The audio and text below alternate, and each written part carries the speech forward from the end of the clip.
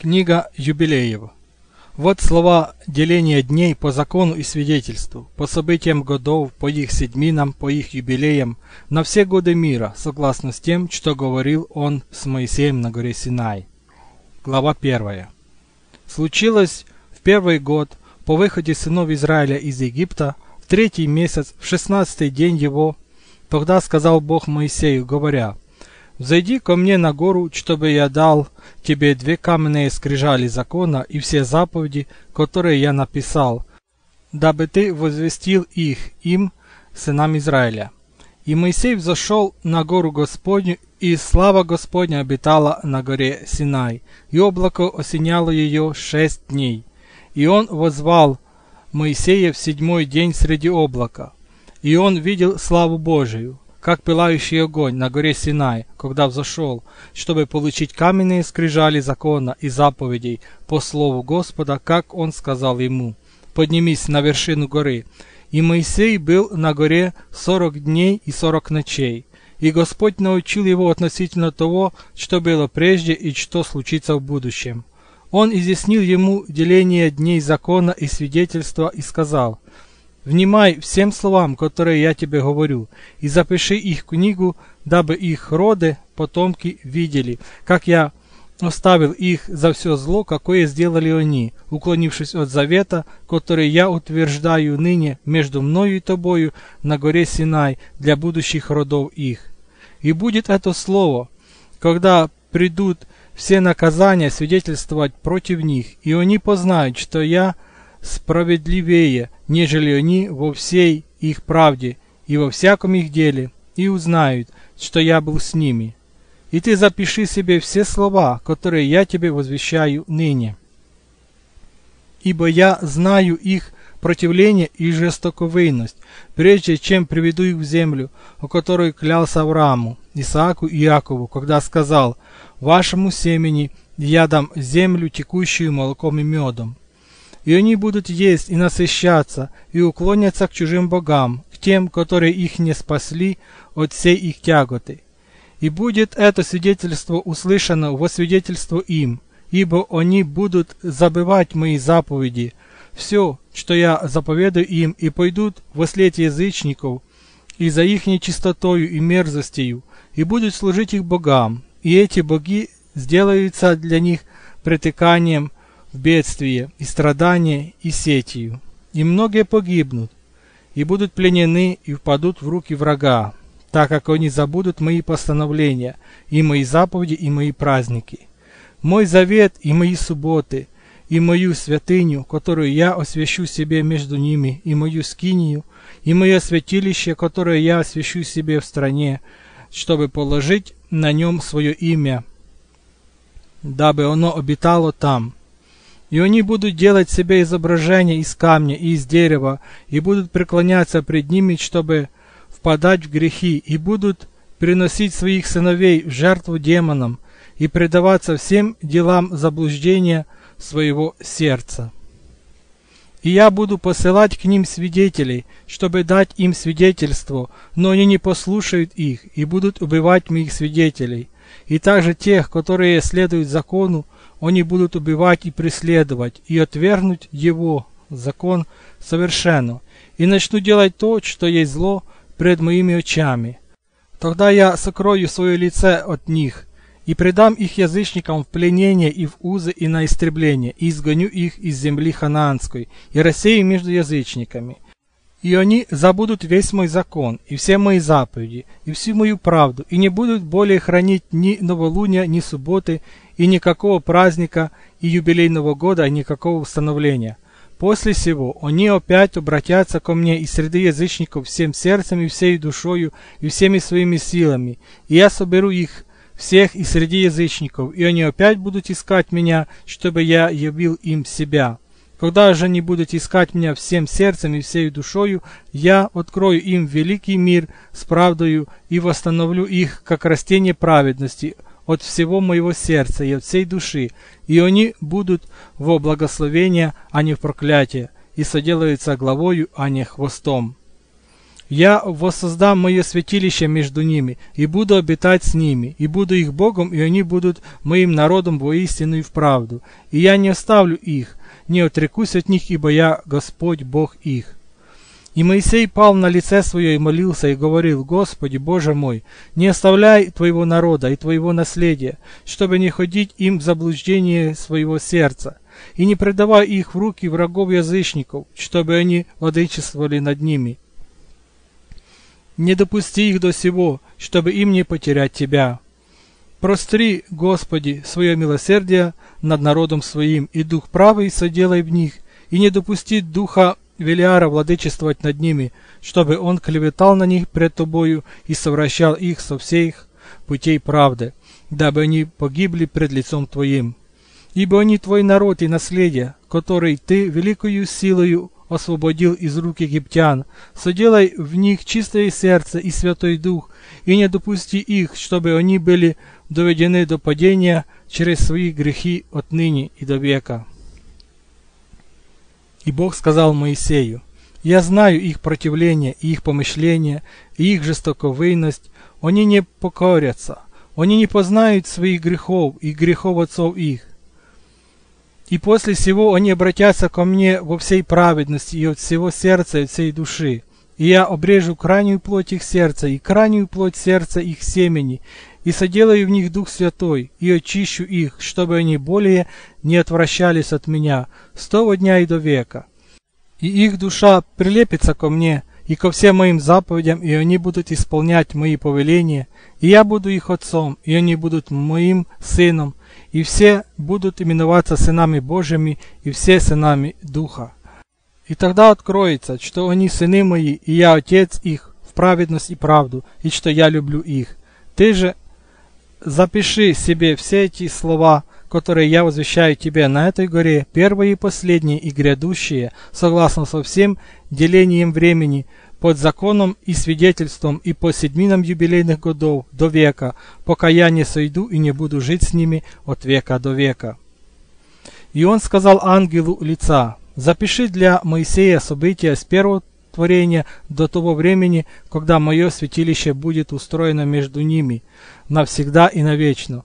И Бог откроется для очей каждого, и всякий познает, что я Бог Израиля и Отец всех детей Иакова, и царь на горе Сионе от века до века, и Сион Иерусалим будет святым. И ангел лица, который шел пред станом израильтян, взял скрижали деления лет от творения, седьмин юбилеев, закона и свидетельства, каждый год по его числу и юбилеи по годам со дня нового творения, когда были сотворены небо и земля и все их произведения, равно как и небесные силы, и все творения земли до того времени, когда будет создано святилище Господа в Иерусалиме на горе Сионе, и все светила будут обновлены к освящению и к миру, и к благословению для всех избранных Израиля, чтобы сие пребывало так от того дня в продолжение всех дней земли. Глава 2. И ангел лица сказал Моисею по слову Господа, говоря, Напиши все повествования о творении, как Господь Бог совершил в шесть дней все свои произведения, которые Он сотворил, и в седьмой день соблюдал субботу, и осветил ее на все века, и утвердил ее в знамение для всех своих творений. Ибо в первый день Он сотворил небеса, которые вверху, и землю, и воды, и всех духов, которые Ему служат, и ангелов лица, и ангелов прославления, и ангелов духа огня, и ангелов духа светов, и ангелов облачных духов мрака, и града, и иния, и ангелов долин, и громов, и молний, и ангелов духов холода и зноя, зимы и весны, осени и лета, и ангелов всех духов его творений на небе и на земле, и во всех долинах, и духов мрака и света, и утренней зари, и вечера, которые он приготовил по предвидению своей премудрости. И тогда мы увидели его произведение и прославили его, и восхвалили его за все произведения его, ибо семь великих произведений он сотворил в первый день. И во второй день он сотворил твердь между водами, и разделились воды в тот день. Половина их поднялась вверх, и половина опустилась вниз под твердь, которая в середине, на поверхность всей земли. И это единственное произведение, которое он сотворил во второй день. И в третий день сотворил он, как сказал водам, достанут они в поверхности всей земли в одно место и доявится суша. И он сделал таким образом с водами, как сказал им, и они стекли с поверхности земли в одно место, вне тверди, и явилась суша. И в тот день он создал для нее воды, бездны морей по их отдельным вместилищам, и все реки, и вместилища вод в горах, и во всей земле, и все озера, и всякую росу земную, и семя, которое сеется по роду своему, и все, что употребляется в пищу, и плодовые и лесные деревья, и сад Эдем для веселья. Все эти четыре великие творения он сотворил в третий день. И в четвертый день он сотворил солнце и луну и звезды, и поставил их на тверди небесной, чтобы они светили на всю землю, и повелел им управлять днем и ночью, и разделять между светом и между тьмою. И Бог сделал солнце великим знамением на земле для дней и суббот, и годов, и юбилеев, и для всех времен года, и повелел ему разделять между светом и между тьмою, и предназначил его для роста, чтобы росло все, что прозябает и произрастает на земле.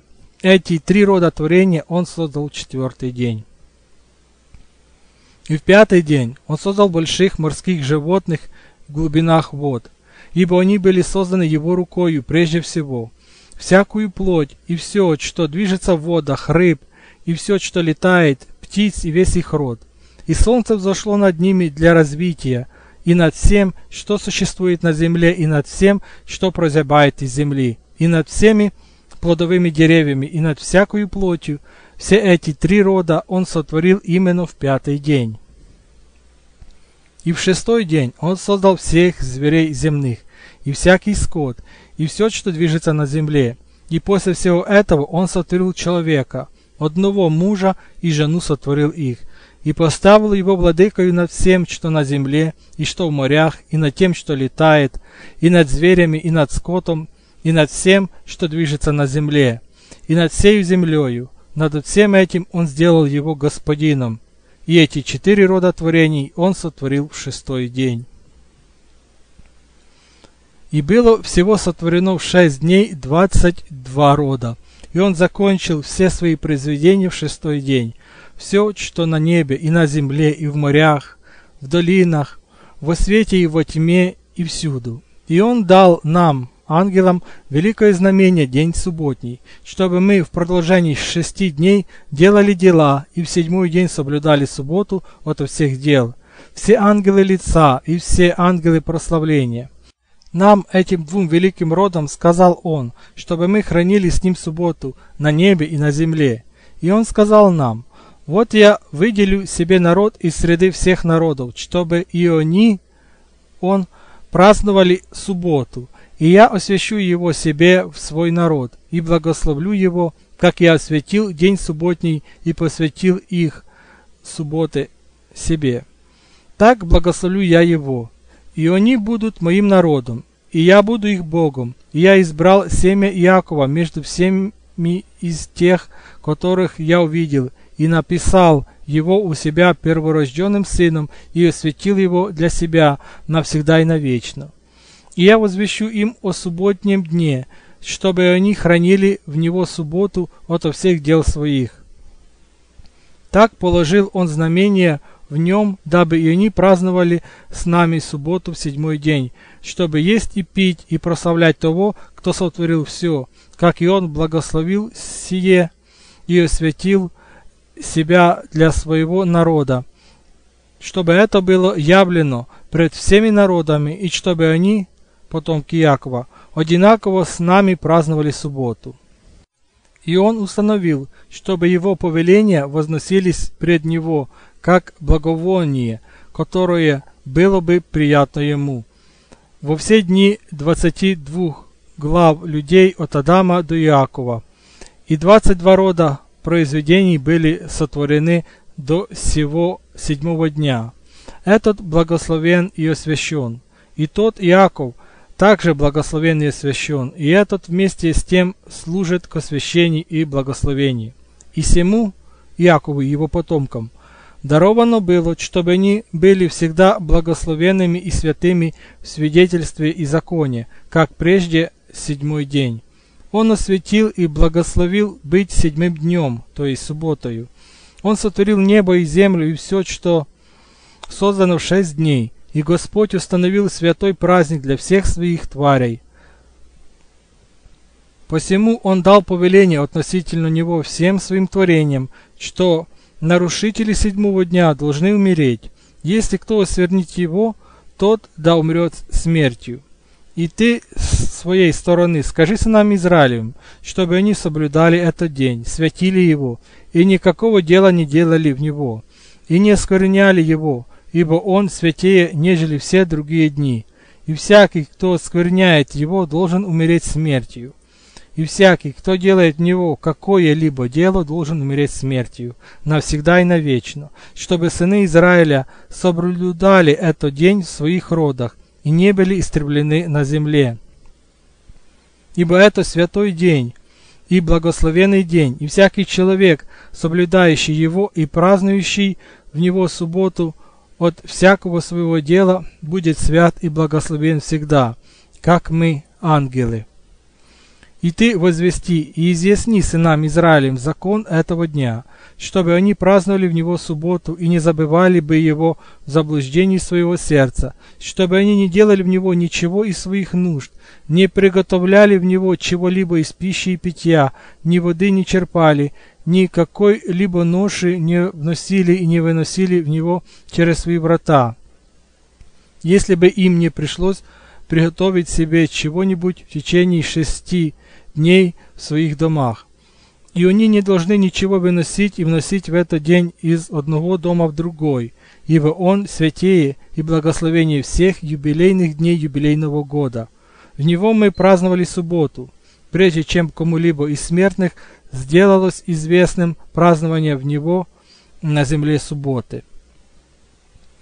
И Творец всех вещей благословил его, но он осветил не всех людей и не все народы праздновать в него субботу, а только Израиля. Ему только предназначил он есть и пить и праздновать в него субботу на земле. И благословил его Творец всех вещей, создавший этот день к благословению и к освящению и к прославлению пред всеми другими днями. Этот закон и свидетельство даны сынам Израилевым, как вечный закон для всех родов. Глава 3. И в шесть дней второй субботы, седмицы, мы по повелению Господа привели к Адаму всех зверей, и всякий скот, и всех птиц, и все, что движется на земле, и все, что движется в воде по их родам и видам, именно зверей, первый день, скот во второй, птиц в третий, все, что движется по земле в четвертый, все, что движется в воде в пятый день. И Адам дал им всем имена, и как он назвал их, так и было им имя. И в продолжении этих пяти дней Адам видел все это, самца и самку в каждом роде, что есть на земле, между тем, как только он был одинок, и он не мог найти себе никого подобного, кто бы был ему помощником. И Господь сказал мне, нехорошо быть человеку одному, создадим ему помощника, подобного ему. И Господь Бог наш навел на него усыпление, чтобы он заснул.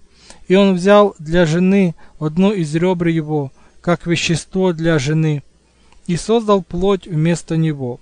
И он создал жену и пробудил Адама от сна.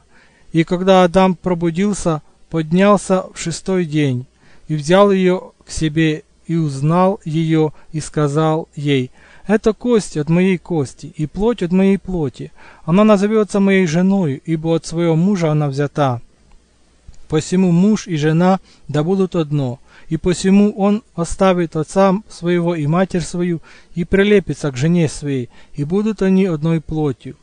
И в первую седмицу был создан Адам и его жена, и во вторую седмицу он, Бог, поставил ее пред ним. И ради сего дана заповедь семь дней для мальчика, а для девочки дважды семь дней пребывать женщине в ее нечистоте.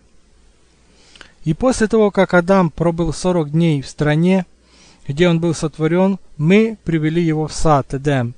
Ради сего на небесных скрижалях, рожденных, предписано, если она родила дитя мужеского пола, то должна оставаться в своей нечистоте 7 дней, соответственно, первой недели, и 33 дня должна оставаться в крови своего очищения и не должна прикасаться ни к чему святому, ни вступать в святилище, пока она не окончит этих дней. Та, которая родила мужеского пола. Родившая младенца женского пола должна две недели, соответственно двум первым неделям, пребывать в своей нечистоте и 66 дней в крови очищения, и будет для нее всего 80 дней. И когда жена, Ева, окончила 80 дней, мы привели ее в сад Эдем, ибо он свят во всей земле, и каждое дерево, которое насажено в нем, свято. Ради всего для рождающей мальчика или девочку установлен закон этих дней, чтобы они не прикасались ни к чему святому, ни в святилище не входило, пока не окончатся эти дни для мальчика или девочки. Это закон и свидетельство, написанное для израильтян, чтобы они соблюдали это навсегда. И в начале первого юбилея Адам и жена его были в саду Эдем семь лет – возделывая и храня его. И мы дали ему занятия и научили его все видимое употреблять в делу, и он трудился. Он же был наг, и не зная сего, и не стыдясь. И он охранял сад от птиц и зверей и скота, и собирал плоды сада и ел, и сберегал остаток для себя и своей жены, и делал запас. По истечении семи лет, которые он там провел, ровно семи лет, во второй месяц, в семнадцатый день его, пришел змей и приблизился к жене, и сказал змей жене, «Разве Бог запретил вам все плоды деревьев, которые в раю, чтобы вы не ели от них?» И она сказала ему, «От всех плодов деревьев, которые в раю, сказал нам Бог, можно нам есть, но от плода дерева, которое в средине рая, сказал нам Бог, мы не должны есть и прикасаться к нему, дабы нам не умереть». И змей сказал жене, «Вы не умрете смертью, напротив, Бог знает, что в день, в который вы вкусите от него, откроются очи ваши, и вы будете как боги, и будете знать доброе и злое». И вот жена увидела дерево, что оно было хорошо и приятно для глаз, и его плод хорош для пищи. Тотчас взяла его и ела, и она первая покрыла свою срамоту смоковничным листом. И она дала его плод Адаму, и он ел, и его глаза открылись, и он увидел, что был наг, и взял смоковничных листьев и сшил их, и сделал себе опоясание, и покрыл свою срамоту, и Господь проклял змея и разгневался на него навсегда. И на жену также разгневался он, так как она послушалась голоса змея и ела. И он сказал ей, «Я умножу твои болезни и твое страдание. С болезнями ты будешь рождать детей, и у своего мужа будешь находить свою защиту, и он будет твоим господином. И Адаму он сказал, так как ты послушался гласа жены своей и ел от того дерева, от которого я запретил тебе есть, то земля будет проклята из-за тебя, тернии и волчцы будут произрастать тебе, и свой хлеб ты будешь есть поте лица твоего, пока не возвратишься в землю, из которой ты взят, ибо ты на земле и в землю возвратишься. И он сделал им кожаные одежды и одел их ими, и изгнал их из рая Эдем. И в тот день, когда Адам вышел из рая Эдем, он принес в приятное благоухание жертву благовонную, ладан и халван из такти, и сенегал, утром со сходом солнца в день, когда он покрыл свою срамоту. И в тот день заключились уста всех зверей, и скота, и птиц, и того, что ходит ногами, и того, что движется, так что они не могли более говорить, ибо до сего все они говорили между собой одними устами и одним языком. И он изгнал из сада Эдем всякую плоть, которая была в саду Эдем, и рассеялась всякая плоть по своим породам и видам с места, которые для них были созданы, удобны. Только Адаму он повелел покрывать свою срамоту, ему одному между всеми зверями и скотом. Ради сего он на скрижалях повелел всем знающим правду закона покрывать свою срамоту и не обнажаться, как обнажаются язычники. И в новолуние четвертого месяца Адам и его жена вышли из рая Эдем и жили в земле Элдад, в той земле, где они были созданы. И Адам дал имя жене своей Ева, и у них не было ни одного сына до первого юбилейного года. И после всего он познал ее, он же обрабатывал свою землю, как бы научен в саду Эдем. Глава 4. И в третью седмину во второй юбилей родила она Каина, и в четвертую родила Авеля, и в пятую родила дочь свою Аван, и в первую седмину третьего юбилея Каин убил Авеля, ибо он, Бог, принял дар от руки его милостиво, а от руки Каина жертву плодов немилостиво. И он убил его на поле, и его кровь вопиет от земли к небу, восклицая, что он убит.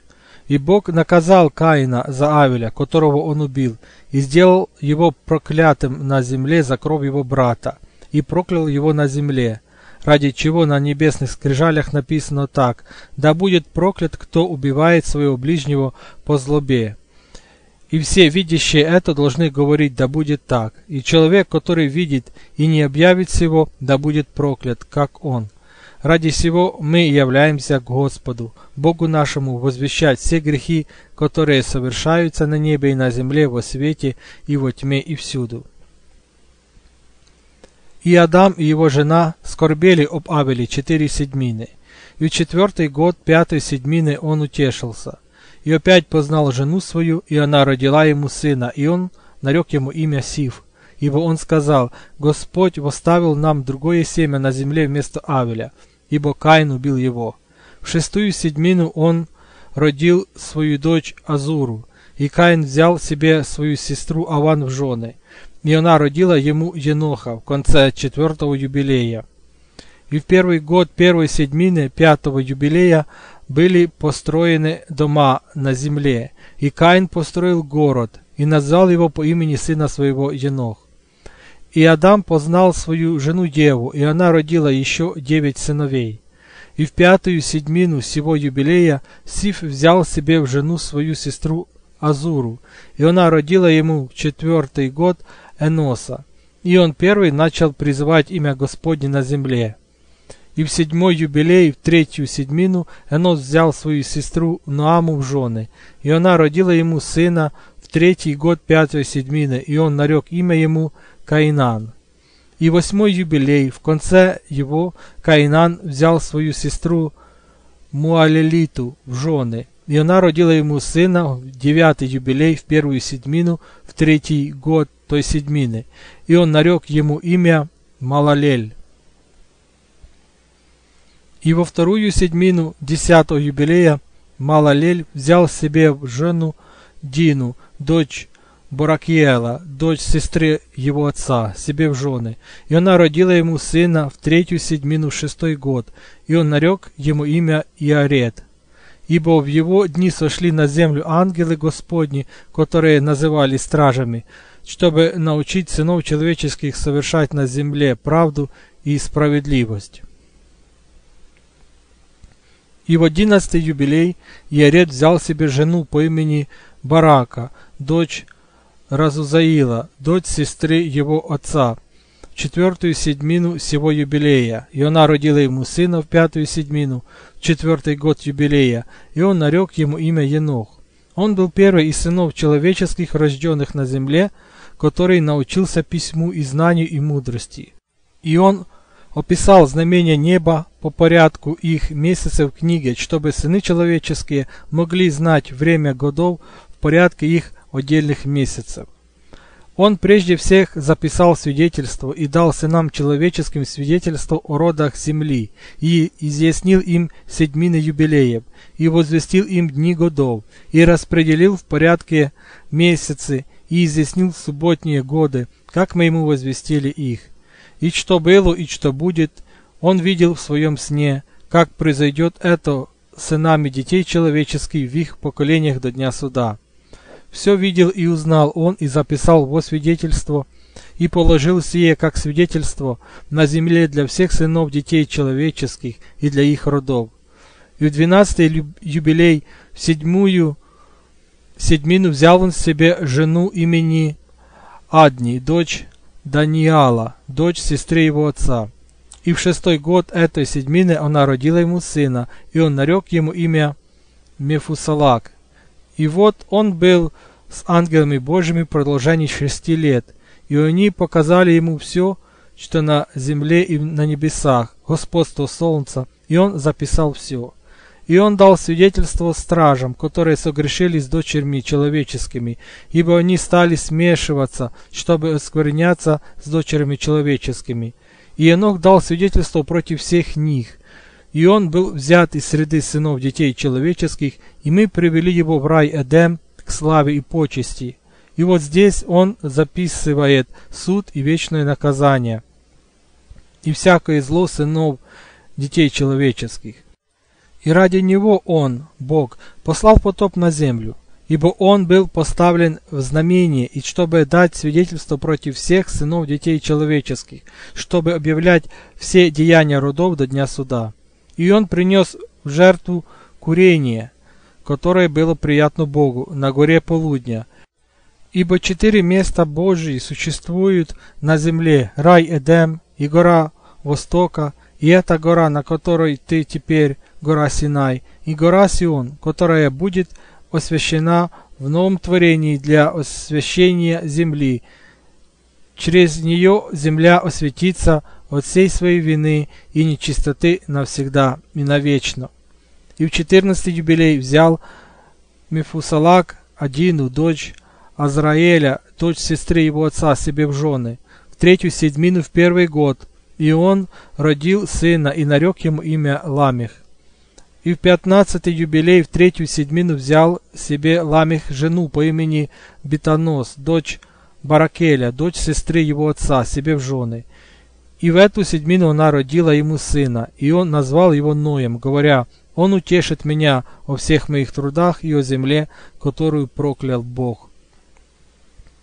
И в конце девятнадцатого юбилея, в седьмую седьмину, в шестой год ее умер Адам – и все сыны его погребли его в стране, где он был сотворен.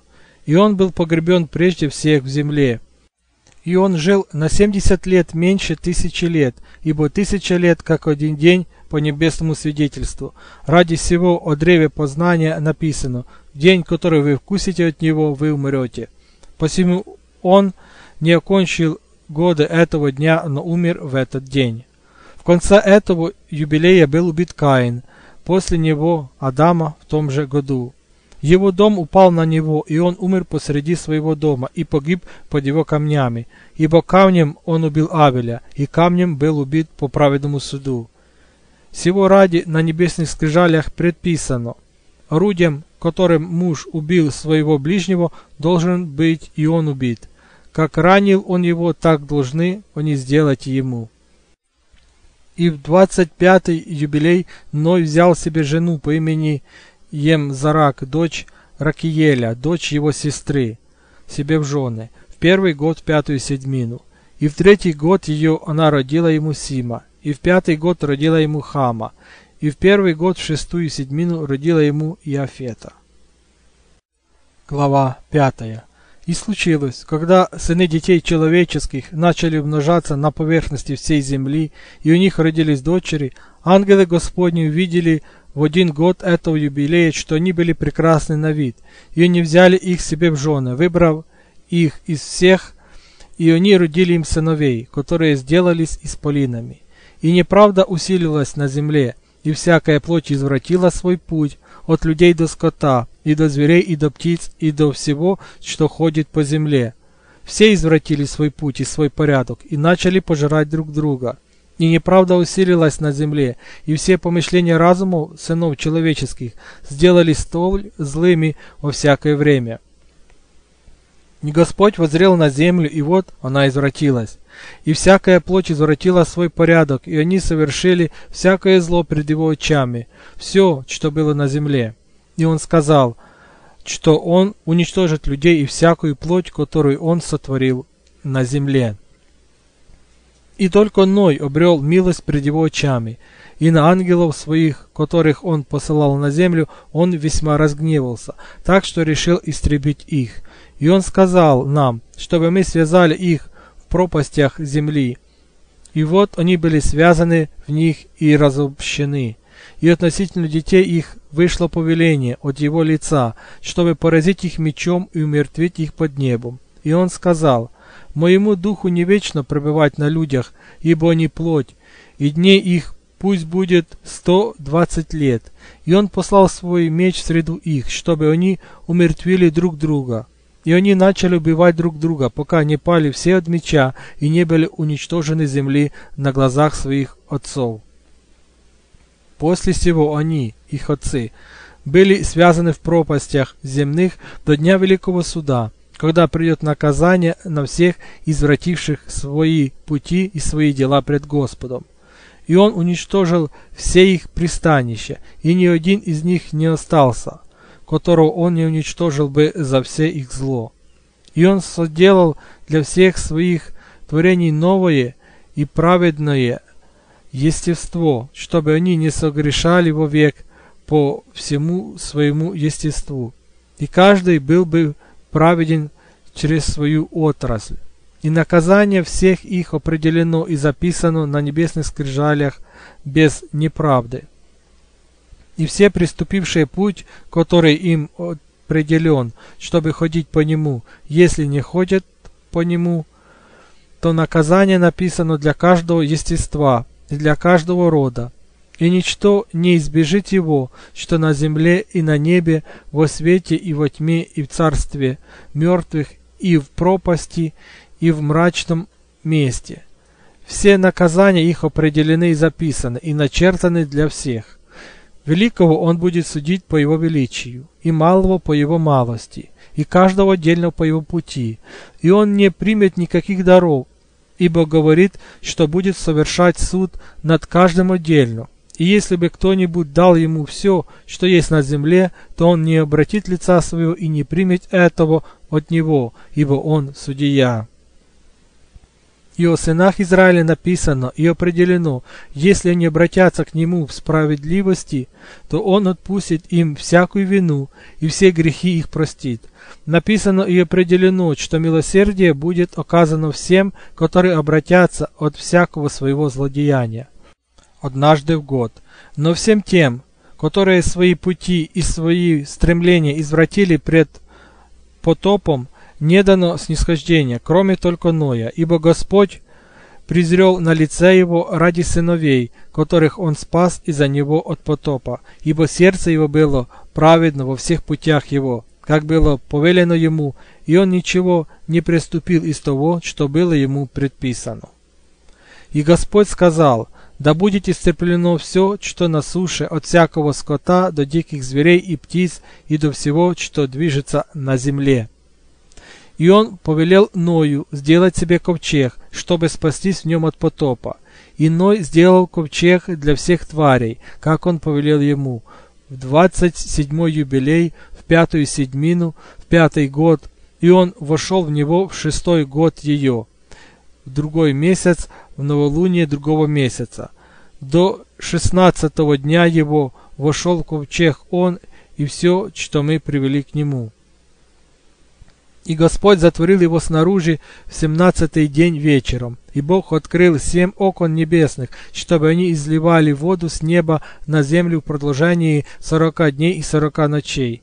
И источники бездны также изливали воду, так что весь мир наполнился водою.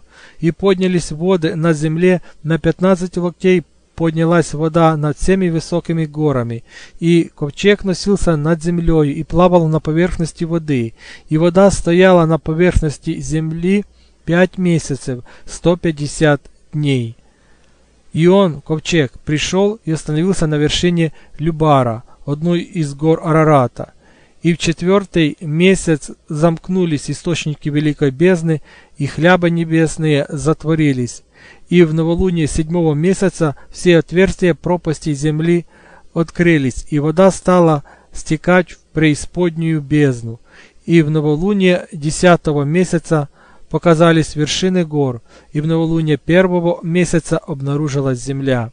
И вода стекла с земли в пятую седьмину, в седьмой год ее.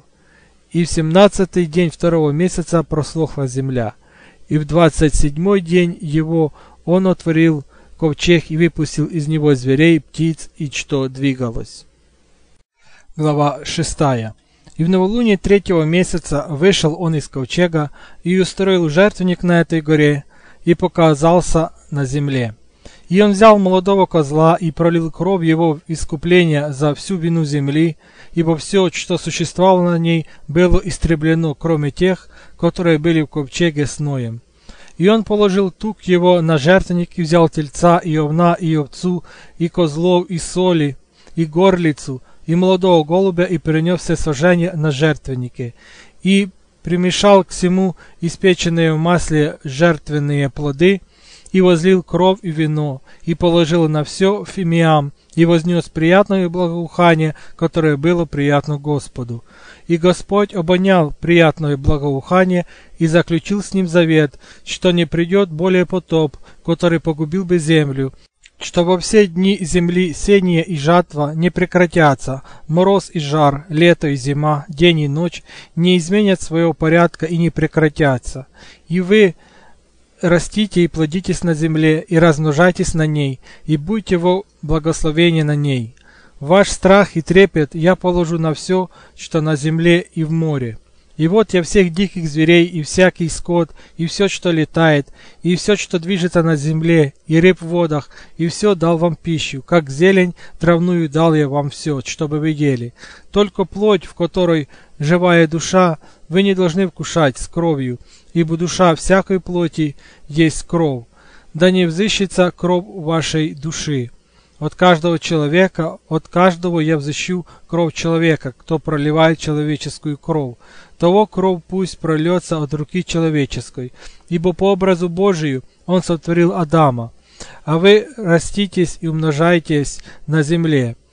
И дети его поклялись, что они не будут есть крови, которая в какой-либо плоти, и он заключил завет пред Господом Богом навечно на все роды земли в этом месяце. Ради сего он говорил с тобою, чтобы и ты с сынами Израиля в этом месяце на горе заключил завет с клятвою и укропил их кровью ради всех слов завета, которые Господь заключил с ними на все время. И это свидетельство предписано им, дабы и вы соблюдали это во все дни, чтобы вам никогда не есть крови зверей.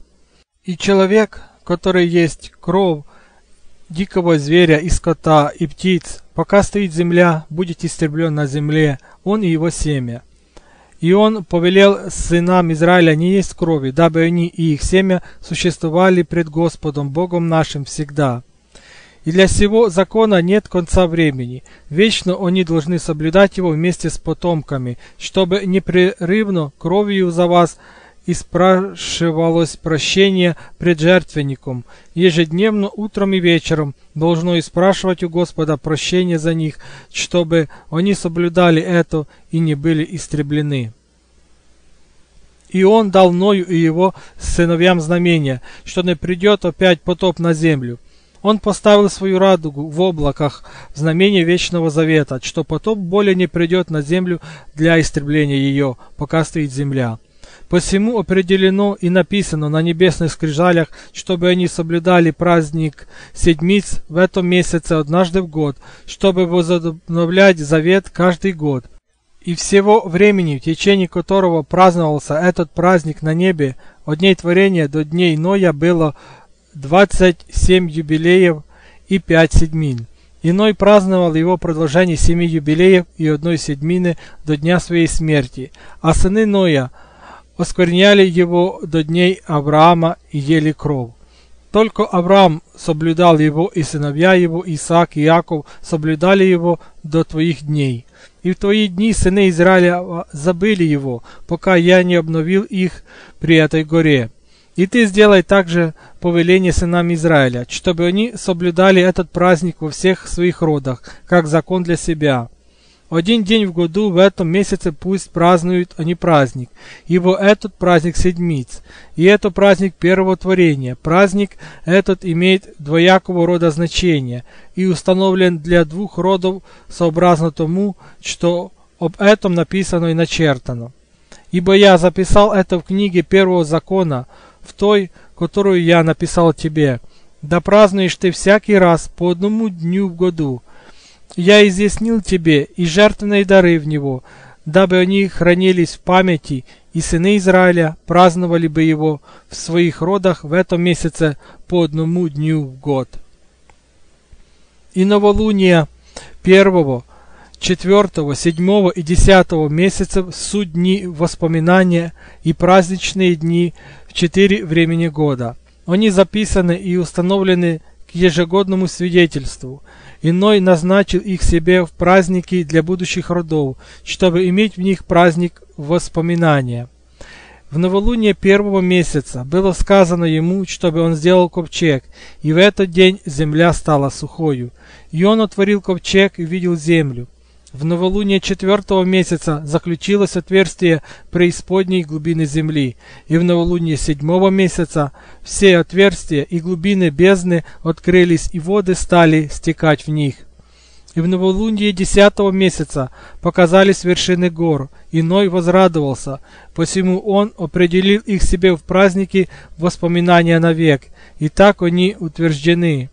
И они внесены на небесные скрижали, 12 суббот имеет каждый из них, от одного новолуния до другого, то есть от первого до четвертого. Идет их воспоминание от первого до второго, от второго до третьего, от третьего до четвертого.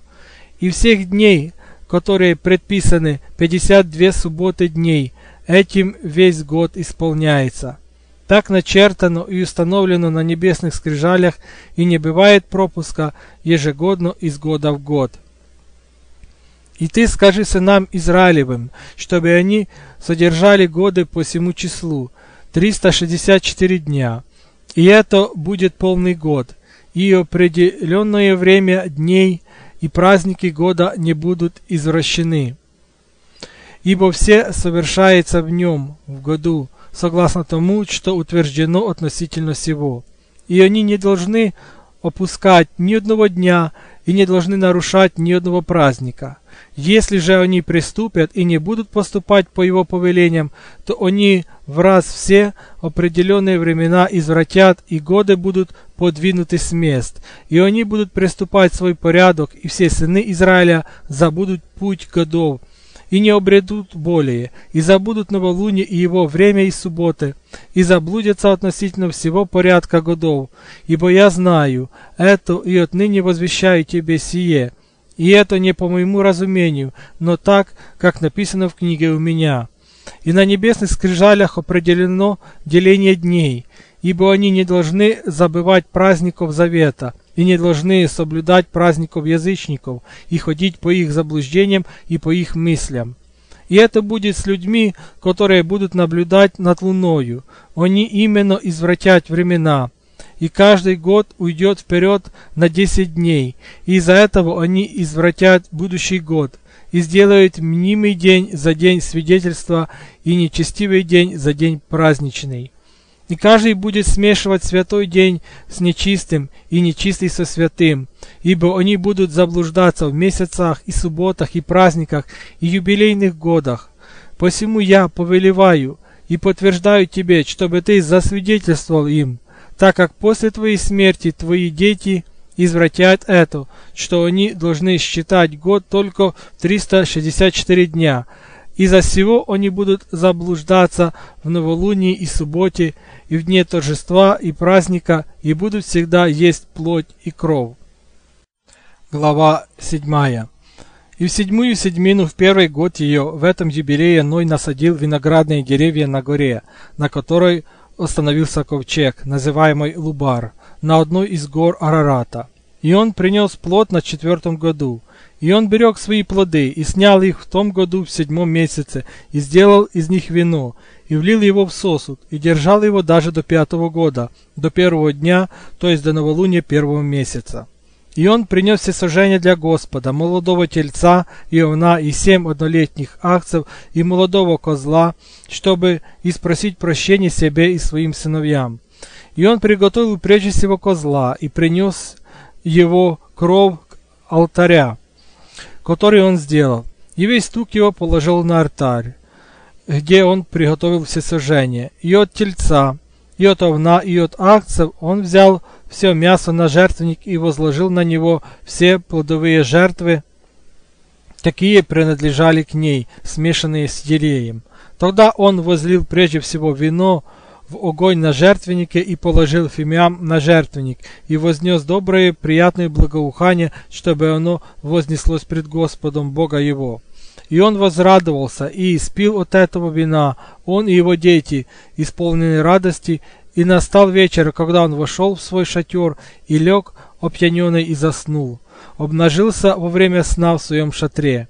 И хам увидел своего отца Нагову и вышел и рассказал своим двум братьям. И Сим взял свою одежду и поднялся вместе с Яфетом.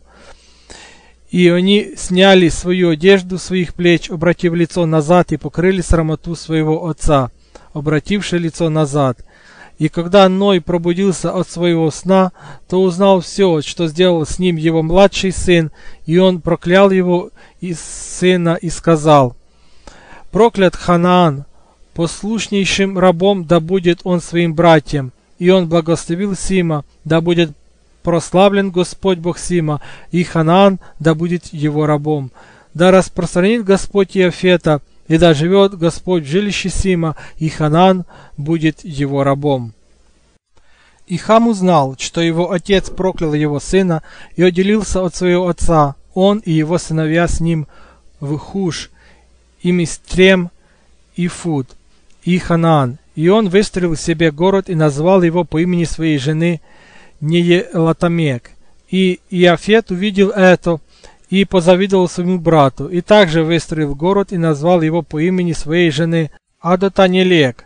Но Сим жил со своим отцом Ноем и выстроил город близ города своего отца при горе, и он также назвал по имени своей жены Седукательбаб. Вот три города близ горы Лубар, Седукательбаб пред горою на ее восточной стороне и Неелтамаук на южной стороне, а до Танезес к западу, и вот сыновья Сима, Елам, Асур, Арфаксад. В 28-й юбилей Ной начал учить своих внуков всем постановлениям и заповедям, которые он знал, и закону, и дал свидетельство своим сыновьям, чтобы они делали справедливость, и покрывали срамоту своего тела, и прославляли того, кто сотворил их, и почитали отца и матерь, чтобы любили друг друга и ограждали свои души от всякого любодеяния и нечистоты и от всякой несправедливости. Ибо за эти три вины пришел на землю потоп, именно за любодеяние, которым стражи, вопреки предписаниям их закона, блудили с дочерьми человеческими и взяли себе жен из всех, которые им понравились. Они положили начало на чистоте, и их сыны Нефалимы и все другие стали разногласить друг с другом, и один пожирал другого, Исполин убивал Нефила, и Нефил убивал Эльё, и Эльё сынов человеческих, и один человек другого, и каждый был, чтобы делать неправду и проливать неповинную кровь. И земля наполнилась нечестием, и за ними Последовали все дикие звери и птицы, и что движется, и что ходит по земле, и пролилось много крови на земле, и все помышления и стремления людей было пустое и злое. И Господь истребил все с поверхности земли за лукавство их дел и за кровь, которую они пролили на земле. Он истребил все. И я, и вы, мои сыны, и все, что с нами вошло в ковчег, сохранилось целым. И вот я вижу прежде всего ваши дела, как вы ходите не в справедливости, но начали ходить по пути развращения, и отделяться друг от друга, и быть завистливыми друг к другому, один к другому, и как вы не единодушны, мои сыны, брат своим братом. Ибо я вижу, что демоны начали обольщать вас и ваших сыновей, и теперь я страшусь за вас, чтобы вы, когда я умру, не стали проливать на земле кровь человеческую, а чтобы и вы не были истреблены с поверхности земли. Ибо каждый, кто проливает человеческую кровь, и каждый, кто есть кровь какой-либо плоти, будет истреблен из среды всех с лица земли. И ни одного человека не останется на земле, который есть кровь и проливает кровь на земле. и не останется у него семени, и потомства под небом, но они пойдут в царство мертвых и сойдут в место осуждения. Все они погрузятся в мрак бездны через мучительную смерть. Каждый из вас, кто от всякой крови не принесет за себя для очищения. То есть, как только вы заколите зверя или скот, или что летает на земле, то делайте доброе дело за себя кровью, где только она проливается на земле. И никто из вас не должен есть плоть с кровью. Удерживайте, чтобы не ели кровь пред вами. Закапывайте кровь, ибо так было заповедано мне. Я свидетельствую всем, как вам, так и вашим сыновьям, вместе со всякою плотью. И не ешьте душу с плотью. Да не взыщется ваша кровь, которая есть ваша душа, от всякой плоти, которая проливает ее на земле. Ибо земля будет нечиста от крови со времени ее пролития на ней, но только через кровь того, кто пролил ее, земля будет чистою продолжение всех своих родов. И теперь, мои сыновья, послушайте меня. Творите правду и справедливость, чтобы вы были насаждены в справедливости на всем лице земли, и да вознесется ваша слава к Богу моему, который спас меня от потопа. И вот вы пойдете и выстроите себе города, и разведете в них всякое растение, которое на земле. И теперь от всех плодовых деревьев в продолжении трех лет не должен собираться плод ни от какого дерева, чтобы есть его. И в четвертый год их плод должен быть освящен, и начаток плодов должен быть принесен пред Господа Всевышнего, который сотворил небо и землю и все, чтобы с лучшим начатком плодов принести вино и елей на жертвенник Господа, который он изберет. И что останется, слуги Дома Божия должны съесть пред жертвенником, который он изберет. И в пятый год сделайте обнародование, чтобы вы обнародовали это справедливости и праведности, и вы будете праведными, и все ваши растения умножатся. Ибо так заповедал Енох, отец вашего отца Мефусалага своему сыну, и Мефусалаг своему сыну Ламеху. И Ламех заповедал мне все, что заповедали ему отцы его. И я также заповедую вам это, мои сыны, как Енох заповедал своему сыну в его первый юбилей, когда он был еще жив, седьмой в своем роде. Он заповедал и свидетельствовал это своему сыну и сыновьям его сыновей до дня своей смерти. Глава 8.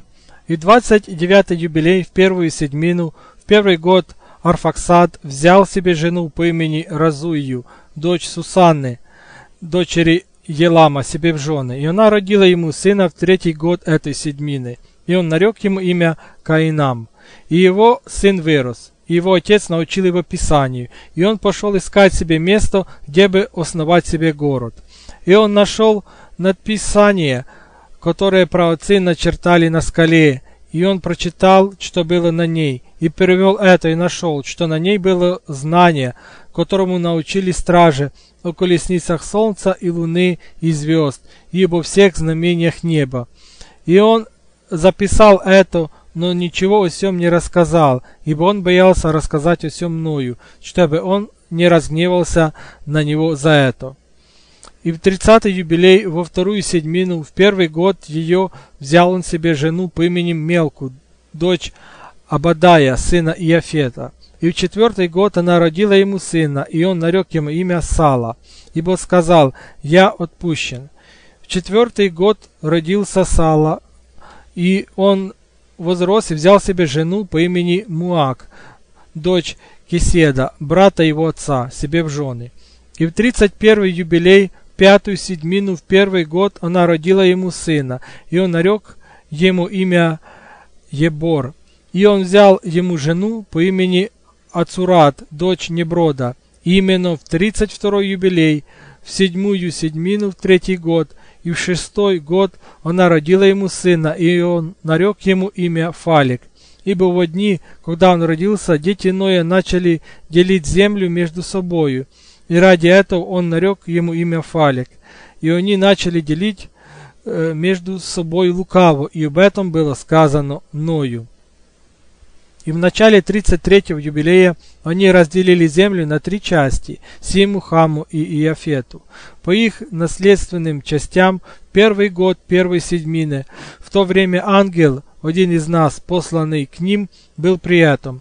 И он, Ной, призвал своих сыновей, и они приблизились к нему, они со своими сыновьями, и он разделил землю по жребию, что должны были получить три его сына. И они распростерли руки и взяли жребий из пазухи своего отца Ноя. И на жребий Сима вышла средина земли, которую он должен был получить как наследие для своих сыновей и потомков век. От средины горы Рафу, где изливается вода из реки Тоны, идет его наследие к западу через средину той реки, и идет, пока не пройдешь к водному бассейну, из которого выходит эта река. И река эта вытекает и изливает свои воды в море Миот. И идет эта река до Великого моря, и все, что к югу от него принадлежит Симу. И идет его наследие, пока не подойдешь к Карасу, то есть до залива Перешейка, который смотрит к югу. Идет его наследие к Великому морю и выходит прямо, пока не подойдешь к западу Перешейка, который смотрит к югу. Ибо это море называется Египетским морским заливом, и оттуда направляется на юг к устью Великого моря до берегов воды и идет к Аравии и Офру, и идет, пока не достигнет воды потока Гигон, и на юг от воды Гигон вдоль берега этой реки, и идет на юг, пока не подойдет к краю Едем, на юг от него и на восток от всей страны Едем и обращается на восток от него и идет так, что подходит к востоку горы, называемой Рафа, и спускается к берегу устья реки Тине. Это наследие досталось по жребию Симу и его детям, чтобы владеть им наследием и его потомкам до века.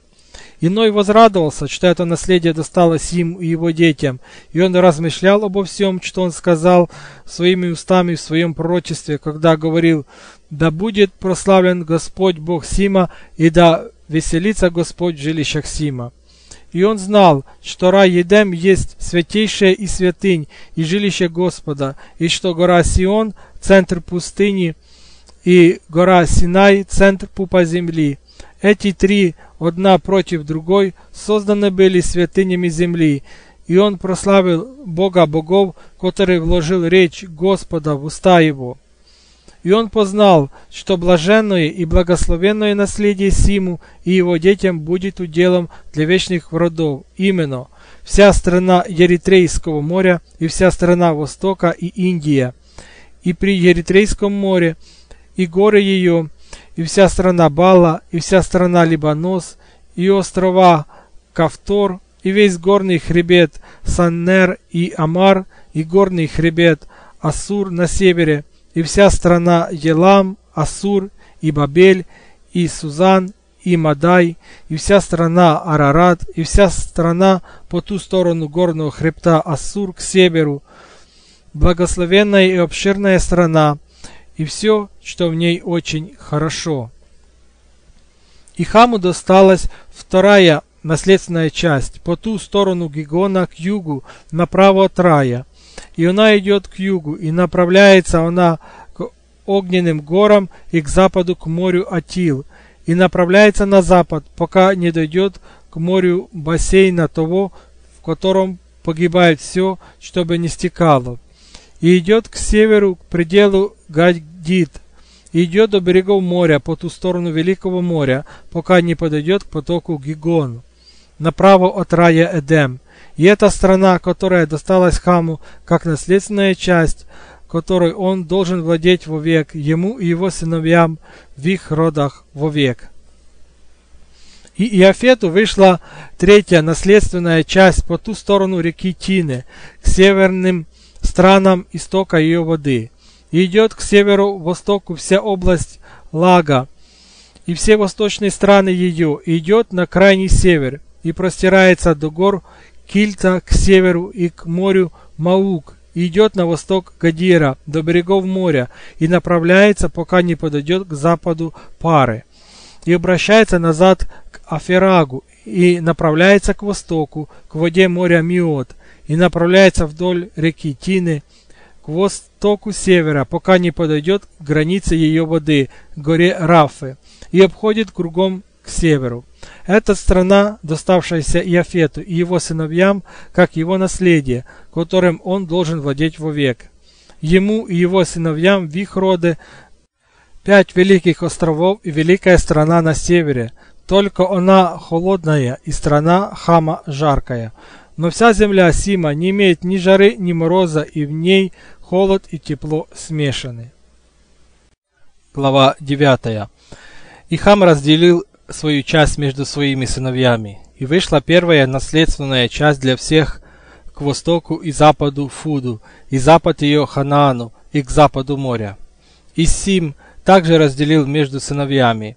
И вышла первая наследственная часть Еламу и его сыновьям к востоку от реки Тигр, пока не подойдешь к стране востока. Вся страна Индия и страна при Еритрейском море и воды Дудина, и все горы, и Ила, или Эла, и вся страна Сузан, и все, что находится к стороне Фарнака, до Эритрейского моря и до реки Тины.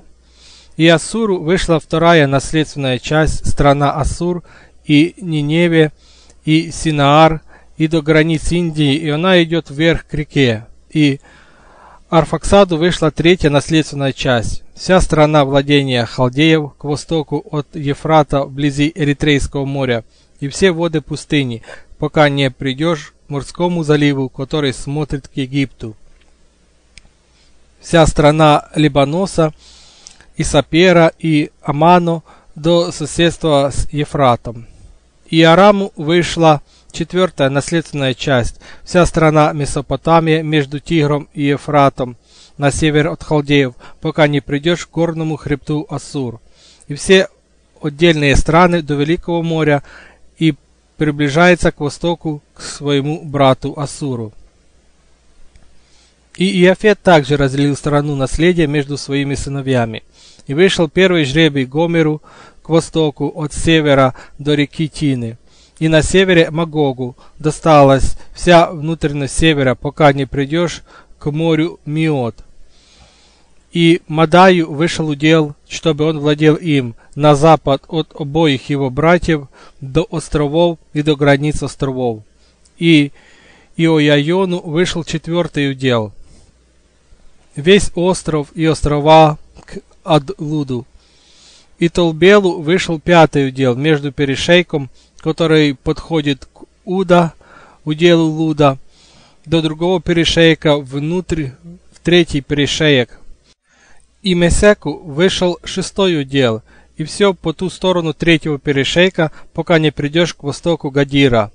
И Терасу вышел седьмой удел. Он имел великие острова в середине моря, которые принадлежали к наследию Хама, и острова Каматури, и детям Арфаксада вышло блаженное наследие. Так разделили дети Ноя уделы своим сыновьям пред Ноем своим отцом, и он велел им поклясться, заклиная клятвою каждого, который пытался бы получить удел, не доставшийся ему по жребию. И все сказали, да будет так. И да будет это так для них и их сыновей до века, в их родах, до дня суда, в который Господь Бог будет судить их мечом и огнем за все лукавство и нечистоту их деяний, так как они наполнили землю злодеянием, нечестием, блудодеянием и грехом. Глава 10. И в третью седьмину этого юбилея начали нечистые демоны обольщать сыновей Ноя, чтобы ослеплять их и губить. И дети Ноя пришли к своему отцу и рассказали ему о демонах, которые соблазняют сыновей их сыновей, ослепляют и умершляют их. И он молился Господу Богу своему и сказал, «Боже духов всякой плоти, являющий свое милосердие и спасший меня и моих детей от воды потопа, и не допустивший меня погибнуть, как поступил ты с сынами погибели, ибо велика милость твоя ко мне, и велико твое милосердие к моей душе». Яви милость Твою на сынах Твоих, не допусти злых духов господствовать над ними, дабы они не истребили их от земли. Вот ты благословил меня и моих сыновей, чтобы мы разрастали и умножались и наполняли землю. Ты знаешь, как твои стражи, отцы этих духов, поступили в мои дни, и этих духов, которые живы, также заключи и свяжи вместе суждения, чтобы они не производили развращения между сынами твоего раба, Боже мой, ибо они злобны и созданы на погибель. Не допусти их господствовать над духами живущих, ибо ты один знаешь суд их, и не допусти их иметь власть над детьми справедливости отныне и до века. И Бог наш сказал нам, чтобы мы связали всех. Тогда пришел высший из духов Мастема и сказал, «Господи, нельзя ли некоторым из них остаться у меня, чтобы они слушались моего голоса и делали все, что я скажу им? Ибо если ни одно из них не останется у меня, то я не могу являть могущество своей воли над сынами человеческими, ибо они существуют для того, чтобы развращать и обольщать по моему повелению под моим господством, так как злоба людей велика». И он сказал, Десятая часть их пусть останется у меня, и девять частей пусть сойдут вместо суда. И один из нас сказал, мы научим Ноя всем целебным средствам, ибо он знал, что они ходят не в справедливости и будут вести борьбу не в праведности. И мы сделали по его повелению. Всех злых лютых духов мы связали вместе наказания, и десятую часть из них мы оставили, чтобы они предстали пред сатаною на земле. И целебные средства от всех их, то есть причиняемых демонами, болезней вместе с их способами обольщения мы сказали Ною, как излечать себя растениями земли. И Ной записал все, как мы научили его в книгу о каждом роде лекарств. Так злые духи были отделены в заключение от детей Ноя. И он дал все писания, которые написал своему старшему сыну Симу, ибо он любил его больше из всех своих сыновей. Иной почил своими отцами и был погребен на горе Лубар в земле Арарат. 950 лет он окончил в своей жизни, 19 юбилеев, 2 седьмины, 5 лет. И его жизнь на земле была знаменитее, чем жизнь остальных сынов человеческих, ради его справедливости, в которой он усовершился, кроме только Еноха, ибо история Еноха была предназначена во свидетельство для родов вечности, чтобы показать все, что случится с родами родов до дня суда. И в 34-й юбилей, в первый год второй седьмины, Фалик взял себе жену по имени Ломна, дочь Синаара, и она родила ему сына в четвертый год этой седьмины. И он нарек ему имя Рагев, ибо сказал, вот сыны человеческие сделались дурными через гнусный замысел, что они построят себе город и башню в земле Синаар. Ибо они переселились от Арарата к востоку в Синаар ибо в его дни они построили город и башню, говоря, мы поднимемся по ней на небо. И они начали строить в четвертую седьмину, и обжигали огнем кирпичи, и кирпичи служили им вместо камня.